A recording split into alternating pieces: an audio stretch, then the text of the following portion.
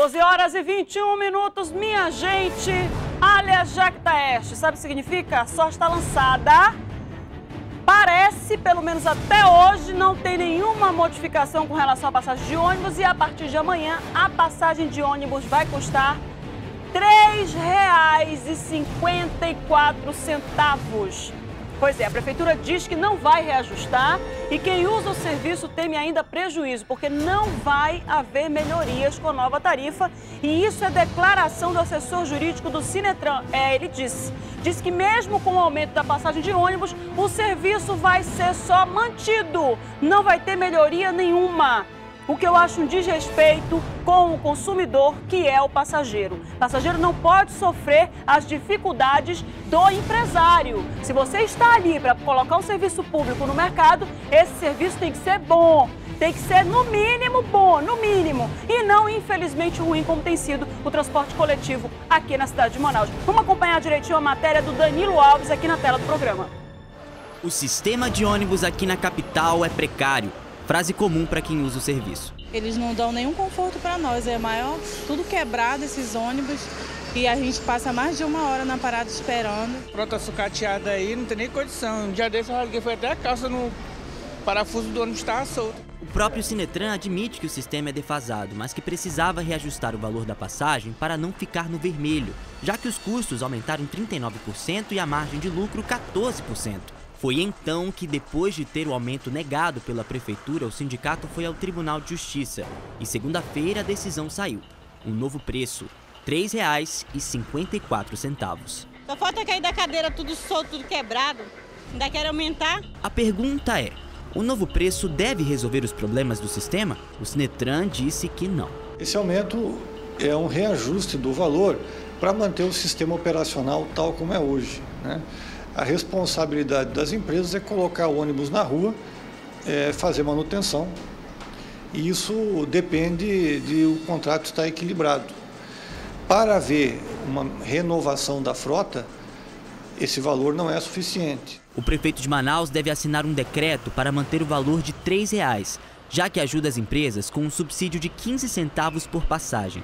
A democracia implica no respeito às instituições, no respeito à decisão judicial, e nada mais está ocorrendo do que uma decisão que vai ser cumprida. Havendo uma decisão contrária, também iremos cumprir. Então, se trata efetivamente é, do jogo democrático. Além da denúncia dos ônibus, os passageiros também reclamam de outra questão, a polêmica do um centavo. Muitos acreditam que as empresas não têm o troco na hora que eles forem pagar a passagem de R$ 3,54. O Sinetran afirma que ainda há essa moeda em circulação, mas aqui pelo centro foi difícil de encontrar. A senhora tem aí a, uma moeda de um centavo? Tenho, não tenho. Se a gente não tiver, a gente não entra, entendeu? E se chegar lá na hora também, eles não tiverem um troco para dar para a gente, vai ser outra confusão. Até os próprios cobradores estão preocupados. Vai ficar muito complicado, porque tem gente que exige dinheiro. E eu não posso fazer nada, vai ter que ficar aí, ou escolhe, fica aí ou desce. Segundo o Sinetran, apenas 40% dos passageiros pagam a passagem em dinheiro e, se for preciso, podem arredondar para R$ 3,50. Já para o Sindicato dos Rodoviários, o que interessa é o aumento salarial. O tribunal julga né, o nosso distrito coletivo e o que o tribunal decidir, assim a gente vai ser feito, vai ser cobrado das empresas o nosso aumento. Independente de tarifa, ano político, nós não temos nada a ver com isso. Justo ou não, o novo valor deve começar a valer na sexta-feira. E enquanto isso, o serviço não melhora. Aí a gente começa a conversar com você que está aí do outro lado, de trás para frente. Assim mesmo como a matéria terminou, eu vou começar a conversar com você de trás para frente. O sindicatos rodoviários é o que menos tem a ver com isso, com relação à prestação de serviço, e está certo. O assessor jurídico dos sindicatos rodoviários está certo. Se tem uma determinação, um dissídio né, coletivo lá com relação, um dissídio trabalhista com relação ao salário, esse dissídio tem que ser cumprido. E quem está trabalhando, o motorista ou cobrador, é empregado da empresa prestadora de serviço de transporte coletivo. Então, ele tem que receber o salário dele em dia, tem que receber os direitos trabalhistas deles em dia. Então, com relação a isso aí, se você é empregado e se você é empresário, o empresário tem que assumir o risco do comércio. Ninguém tem culpa se você não está conseguindo dar conta do recado. A segunda observação que a gente tem para fazer é com relação ao que o assessor jurídico do Sinetran disse. Esse valor né, de R$ 3,54, que o Sinetran está fazendo questão aí de manter de acordo com a tabela que foi apresentada para o Tribunal de Justiça, porque esse valor aí, quem apresentou pedindo essa alteração foi o Sinetran. Ele disse que esse valor é para manter a frota, para manter a frota funcionando. Manter a frota na rua.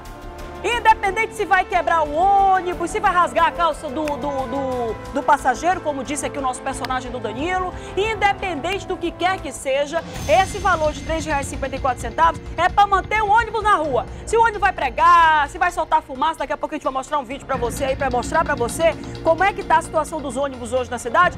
O Sinetran está lavando as mãos. Está dizendo que não está muito preocupado com isso não. Agora o empresário vai para a rua, vai para a rua vai para a rua para poder reclamar isso e fica reclamando e, diz que não tem condições de manter a, a, a, frota. E tem mais uma coisa, rapidinho aqui, eu vou já pedir o vídeo para você que está aí do outro lado. A cobradora disse, a cobradora também não tem culpa não, viu minha gente? Cobrador não tem culpa. Quem tem que providenciar o troco é o empresário. Não sei como é que a gente vai fazer. O cara vai ficar esperando um centavo dele ou então desce do ônibus e vai embora. Ah, para acabar, solta o vídeo aí do ônibus quebrado, porque para mim isso é um ônibus quebrado. Esse ônibus tem condição de transitar? Esse ônibus, ele tem condição de transitar nas nossas ruas? Olha a poluição. E aí eu vou fazer uma solicitação para o Ministério Público ou para o doutor Carim, que é a vara de meio ambiente, para fiscalizar isso. Isso foi hoje de manhã em frente à Vila Olímpica. Olha só o fumaceiro, olha a poluição que esse ônibus está causando nas ruas da nossa cidade. Né? Vamos ver. Mini Vila Olímpica lá do Coroado. Olha aí a situação do ônibus. Mas o assessor jurídico do Sinetran já disse que essa, essa passagem de ônibus não é para resolver isso aí não, minha gente, tá? É para deixar quebrado mesmo. Isso aí é o ônibus da Global Green, imagem que nossos telespectadores mandaram pelo nosso WhatsApp, 991537959. Olha a situação desse ônibus. Aí agora, Deixa a imagem, deixa a imagem aí, para o pessoal de casa ficar bem é, ciente de como é que está nosso transporte público e, principal, principalmente para os órgãos de proteção ao consumidor, Ministério Público Estadual, juiz da vara do meio ambiente, atentar para a situação em que os empresários estão colocando os ônibus na rua. É o empresário que tem que fazer a manutenção dos seus carros. O diretor está atualizando uma informação aqui para mim. Diz aí, diretor. E vai. Diretor tá me informando agora que o tribunal. É isso mesmo, Ricardinho. Quando o Ricardinho põe esse som aí do rádio, é que o diretor tá conversando comigo aqui. Hoje o Tribunal do Trabalho autorizou aumento de 8% da categoria.